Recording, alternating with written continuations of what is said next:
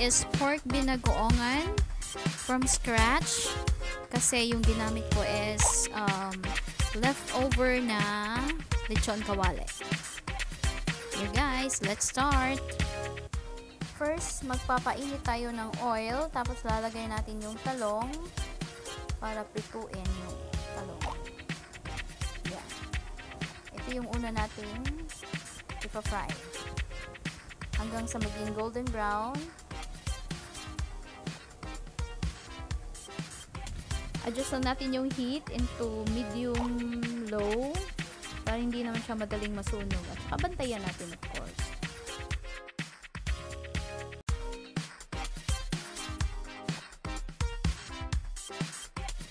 Okay, ayan. Nag-change na siya ng color.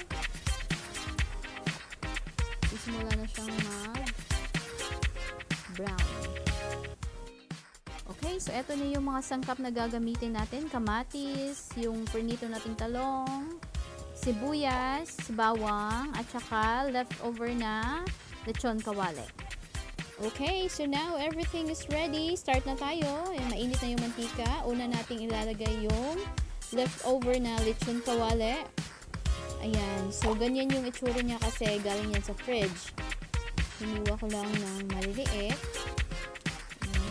Lang natin yung konti, tsaka ilalagay natin yung ibang sangkap.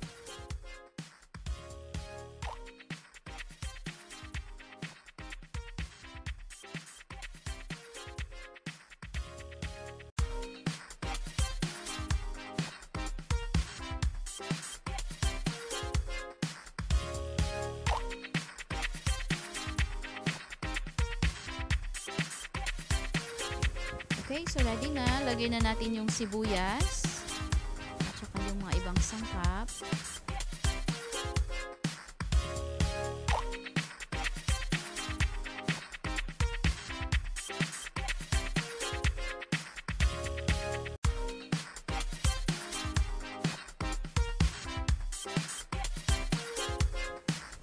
Yan, at lalagyan natin to ng konting salt.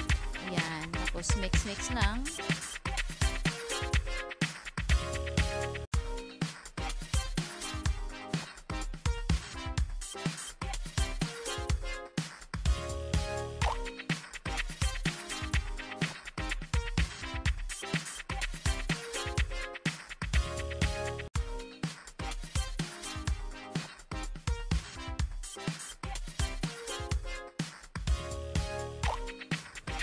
Okay na to. Lagay ko na yung uh, hipon or bagoong. Ito yung nabili ko eh, color pink. Pero hinugasan ko to ng um, running water para matanggal yung kulay, yung food coloring.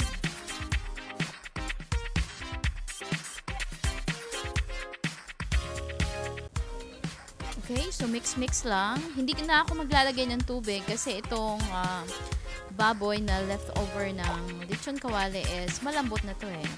So, pat, ano na lang, soy sauce. Lalagyan natin siya ng soy sauce. Yan. Para may konting kulay. At saka hindi rin ako maglalagay ng suka. Ang ilalagay ko is calamansi later.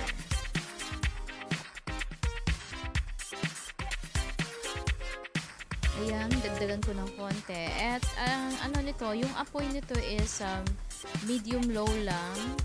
Parang gusto ko siyang parang sizzling-sizzling ba. Lagyan natin ng konting ginisa mix.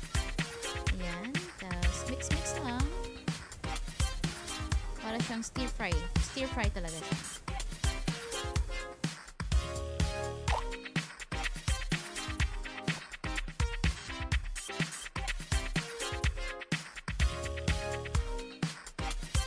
So okay na to. Lalagay na natin yung talong. Eto, talong. Konti lang yung talong ko. Isang talong lang to eh. Kasi yun lang ang available sa fridge.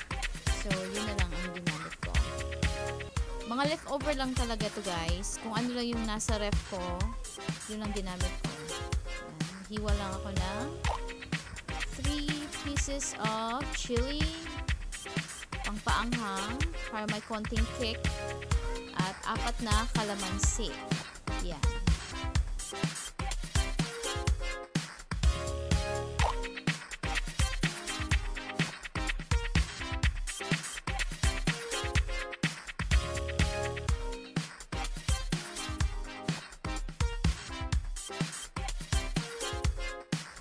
Kung naaamoy nyo lang siya guys, promise, ang bango-bango niya talaga. Nakakagutom yung bango niya. Ayan. So, nilagay ko na yung sile. Tapos, uh, ilalagay natin dito yung apat na kalamansi na hiniwa natin.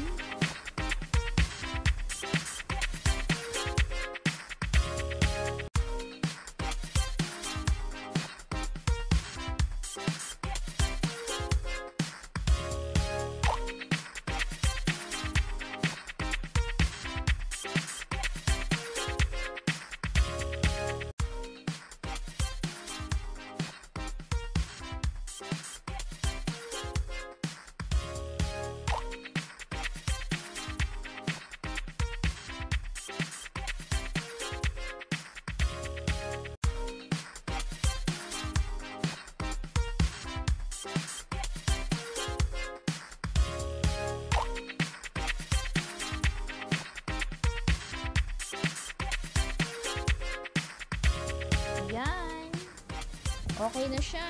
Luto na ang ating pork binagoongan with talong.